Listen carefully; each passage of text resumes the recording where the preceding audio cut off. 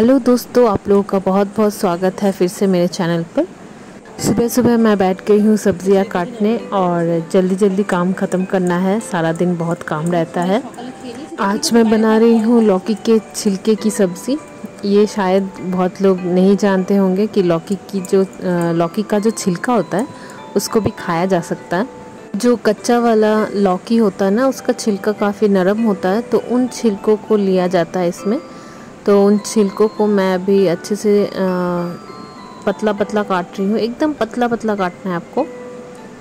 तो इसके साथ मैं आलू भी डालूँगी। आलू भी वैसे ही लंबा लंबा छोटा छोटा करके फ्राई करेंगे उसके साथ। तो देखते रहिए मेरा आज का सारा दिन कैसा बीतता है।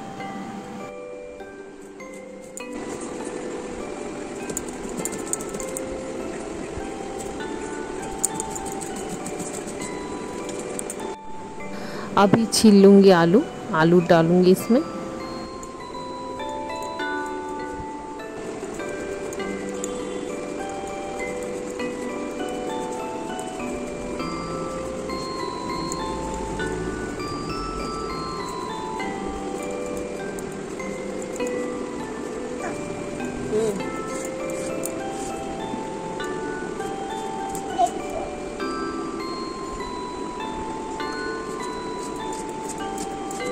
কত করে নিল লঙ্কা লঙ্কা কত নিল দশ টাকা आज का मौसम काफ़ी अच्छा है और मेरे पौधे अभी भी छोटे छोटे ही हैं पौधों का ज़्यादा ख्याल नहीं रख पाती हूँ सारा दिन काफ़ी बिज़ी रहती हूँ इसलिए और ये थोड़ा बहुत ग्रीनरी देख के मुझे बहुत अच्छा लगता है ये पके हुए कटहल के दाने ये हम लोग सब्ज़ी में खाते हैं पता नहीं आप लोग खाते होंगे कि नहीं। खाने में काफ़ी टेस्टी होता है। और देखिए बादल छाए हुए हैं। सुबह सुबह इतना अच्छा मौसम है। बचपन में मेरा फेवरेट सीज़न ये रेनी सीज़न ही था। और अभी पता नहीं अच्छा नहीं लगता मुझे। तो मेरी एक और सब्ज़ी बनने वाली है। ये है झींगे। पता नहीं इसको हिंदी में क्या कहते हैं। झींगे को अगर आप लोगों को पता होगा तो प्लीज़ मुझे कान में बताइएगा। झींगे हम लोग बंगाली में कहते हैं इसको। ये झींगे से बहुत अच्छी सब्ज़ी बनती है। पेट के लिए काफ़ी अच्छा होता है, वो ठंडा होता है। अब हम लोग सब्जियों को धो लेंगे।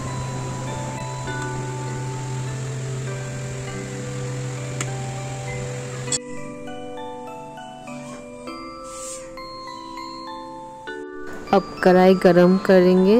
मैं थोड़ा चेक कर लेती हूँ कि कढ़ाई गरम हुआ है कि नहीं हाथ से। तो अब कढ़ाई गर्म होने के बाद ही सब्ज़ी डालना चाहिए, वरना वो लग जाती है नीचे से। तो पहले हम लोग लौकी के जो थे हैं, उनकी सब, उसको फ्राई करेंगे। तो अच्छे से फ्राई कर लूँगी मैं। उसमें कलौजी डाला है मैंने तड़के में। बस कलौजी से ही फ्राई करेंगे।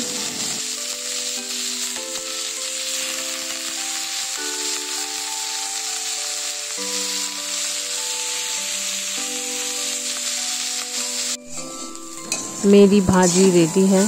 ये आप लोग भी घर में ट्राई कीजिएगा। अच्छा लगता है और छिलके में भी काफ़ी गुण होते हैं, अगर आप लोगों को पता होगा।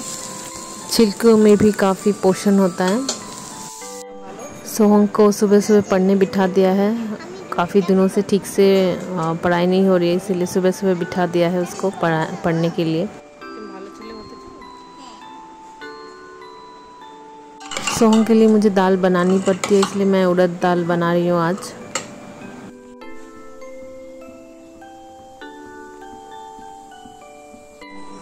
बाहर का मौसम काफ़ी सुहाना हो चुका है, काफ़ी अच्छी हवा आ रही है।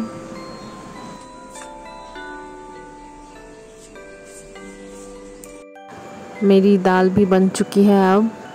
सोहंग के लिए मुझे दाल बन, बनानी पड़ती है। कभी कभी हम लोग थोड़ा स्पाइसी खाना खाते हैं, तब थोड़ा सा दाल होने से उसके लिए अच्छा हो जाता है।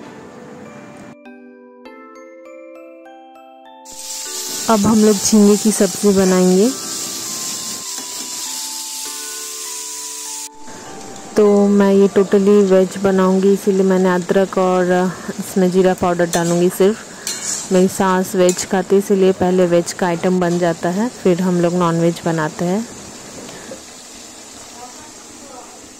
हल्दी पाउडर ख़त्म है। आप चेक करना पड़ेगा कि हल्दी है या नहीं घर पे। हाँ मिल गया। मुझे यहाँ पे साबुत जीरा मिला। जीरा पाउडर मिल गया। और यहाँ पर हल्दी पाउडर भी मिल गया। चलो। वरना फिर से मैं, मुझे बोलना पड़ता हस्बैंड को कि बाज़ार से लाओ। तो इसमें मैं थोड़ा हल्दी डाल दूँगी।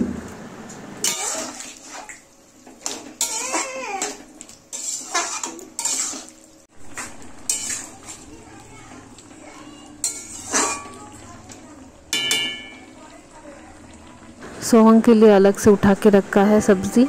अब हम लोग मिर्ची को इसमें जो मिर्ची डाला था उसको पेस्ट कर देंगे। तिखी वाली सब्ज़ी रेडी है। ये बच्चे होने से हमें ऐसे ही करना पड़ता है।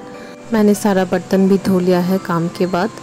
अब लास्ट एक काम बचा है, ये है मिर्ची को थोड़ा ठीक करके रखना है। मिर्ची का मैंने डंठल निकाल के अब इसको अच्छे से एक न्यूज़पेपर से रैप करके इसको फ्रिज में डाल दूँगी तो ये बहुत दिनों तक ऐसे ही ताज़े रहेंगे। अभी शाम का वक्त हो गया है, अब सोहंग को मैं थोड़ा सा दूध पिलाऊँगी। ये रहा दूध और सैलक। सैलक वो अभी खाना नहीं पसंद करता है, लेकिन सैलक बच गया था और बहुत दिनों से वो खाता ही नहीं है, इसलिए आज दूध के साथ उसको दूँगी। अच्छे से मिला लिया। आप चलते हैं। लो सोहंग अब क्या लेके बैठ गया है? अभी खाने का टाइम है। आ, उसके पापा उसके लिए रथ लेके आए हैं। अभी जो रथ गया ना तो और तभी रथ लाए थे। काफ़ी सुंदर है छोटा सा। सोहंग के लिए एकदम परफेक्ट है। तो दोस्तों आज का ये दिन मेरा ठीक ठाक ही बीता। और आप लोगों को कैसा लगा ज़रूर कमेंट में बताइएगा। और मेरे नेक्स्ट ब्लॉग का इंतज़ार करते रहिए। मैं आप लोगों को मिलूँगी मेरे नेक्स्ट ब्लॉग में। तब तक के लिए टाटा एंड गुड बाय